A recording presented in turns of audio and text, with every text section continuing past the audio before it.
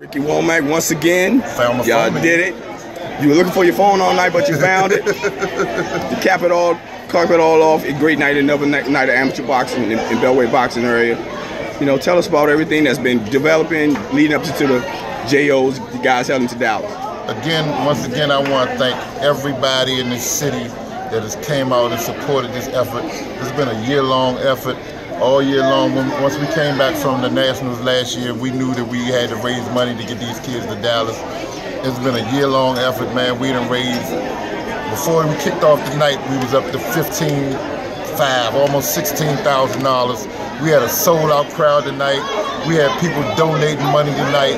Man, I want to thank Universal Madness. I want to thank. Speaking of that, they got, let me show you the Madness T-shirt. You got to see the whole sweatshirt You know, the kids. at least this just part of what was going on. I know the kids had a Hold on, sweatshirt. man, hold on. Let me see if I see somebody with a suit. Hey, little C, come here right quick. Hurry up. Where your sweatsuit at? Come here. Come here. Hurry up. Hurry up. I'm sorry. We messed, we messing right. this video up. It's my man Lil C with the with the Universal Madness sweatsuit. This is this how they put this on. I'll be back. We be Yeah. back. Put that on.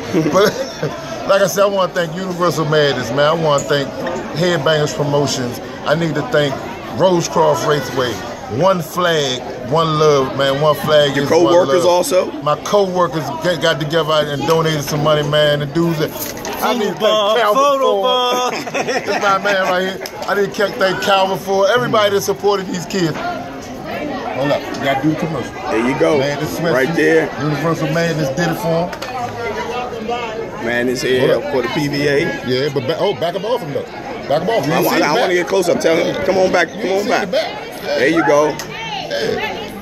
Yeah, when we get off that plane, we gonna mean business There and you go. everybody gonna know it. Thanks.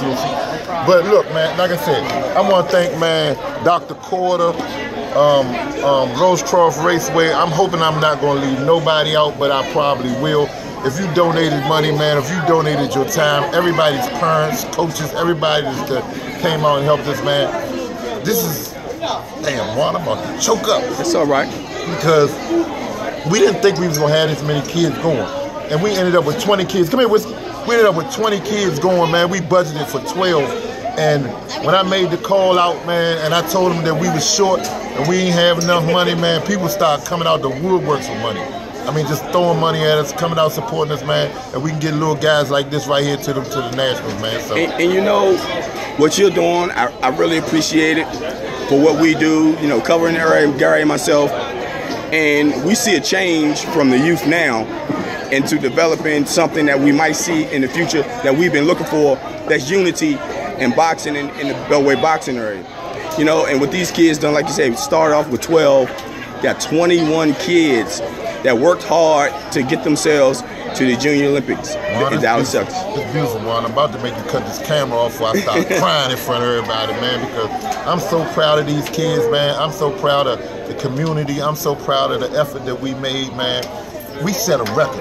Yeah. PVA has never, ever, from what I hear, you might know better than me, but what I understand, PVA has never had 21 kids that advance to a national tournament. Yeah, I mean, kids work so hard From for that. what I hear, nobody in PVA history has ever raised twenty thousand dollars in a year, and I'm willing to bet you by the time we finish counting this money tonight, we over twenty So, like I said, man, I want to thank everybody. Buffalo Wild Wings. Yeah. I want to thank man everybody, man, that supported us. Uh, uh, uh, uh, uh, um, Big Chair. Everybody, Big Chair Bond Grill, everybody, man. I'm gonna leave somebody out, and I hope I don't. If I do, just tag yourself in this post, man. Cause Juan gonna post it on on, Yeah. on Facebook. Thank you all, man. Thank you, Juan. Thank Gary Williams. Thank uh, everybody, man. Everybody. I don't know who else to thank. I and also, everybody. and also, uh, another thing is, the the money that you guys raised covered the trainers and the fighters that they don't have to pay anything out of their pocket. they don't have to pay for nothing. And that was my goal. My goal was to make so these kids and these the, the, the kids work hard all year. Mm-hmm. The coaches and the parents work hard all year, getting them to the gym and, and, and buying them equipment and, and sacrificing their time and their money. And, they, and there's a lot of sacrifice to this that you don't see. So when Yeah. it's time for them to shine like this, they don't need to come out their pocket with nothing. And I did everything in my power. And I want to thank everybody for helping me. And we going to nationals. And, Yeah. and we gonna break back. And, and I'm gonna tell y'all what. it's gonna be a traffic jam at the TSA coming back from Dallas because we gonna have a whole lot of medal winners. We coming back with, with, and we gonna make the city proud. Yeah, and one thing I did notice, like you said, when I come to the gyms to see these guys work out, these kids, I see the parents there. I see the kids working hard, and not only just working hard, they having fun. You know, while to them, it's not the sport that's making them unified. They be developing friendships. Let me say this, Ron. Let me say this, and this is one of the things that, well, a couple of the things that I strive for once I got into PVA. I ain't been in it that long, about five years now, and I noticed that there was a lot of device, divisiveness, if that's the word I'm trying. You know I want. Yeah. There was a lot of divide, divisiveness around PVA. Yeah. It was boring. It was just mostly division amongst That's the gyms. word. It was division. The shows were boring. It was just was nothing. So I brought a different element into it. I made it fun. We made it fun.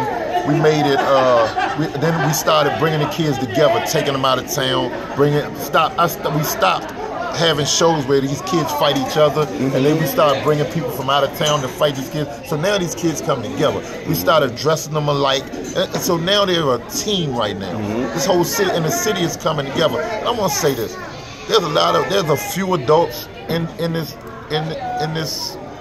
There's a few adults that don't really get it, mm-hmm. or they don't really like it, or they they complain or whatever, and they find problems with it, fake hating or whatever.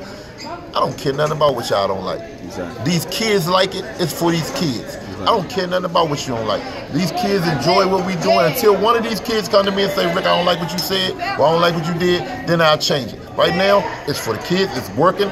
You ain't gotta pay nothing to go to Dallas. The kids don't gotta pay nothing for to go to Dallas. Mm-hmm. So that's why I'm doing it, man. And I love what I do, man. And I don't get nothing out of this. I don't make a dime off of this, man. And I just love these kids, man. I really do.